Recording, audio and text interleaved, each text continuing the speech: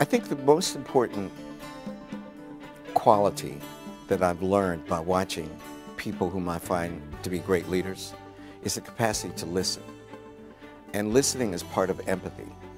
If I can understand where a person's coming from who works with me or for me, quite frankly, then I think I could get a more effective result from them.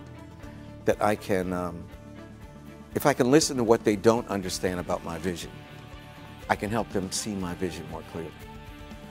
Otherwise, you stop talking to them, you don't call them, and then you fire them.